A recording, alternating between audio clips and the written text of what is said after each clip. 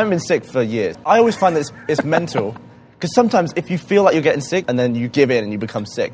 But the last few times I've had that feeling, I've just been like, I'm not doing it, and I'll skip it. You would make the world's shittiest doctor. Because that'd be your be advice like, oh, you're getting sick? Yeah, just don't do that. I imagine someone coming to you and they say, Dr. Free, I have cancer. And you go, oh, I got that. Stop. just give it up.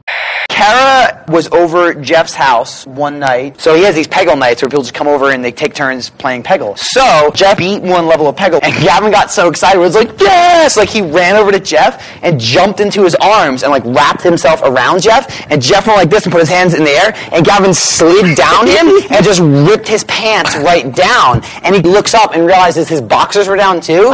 And Jeff's dong is just hanging out. And Kara was there and she's like,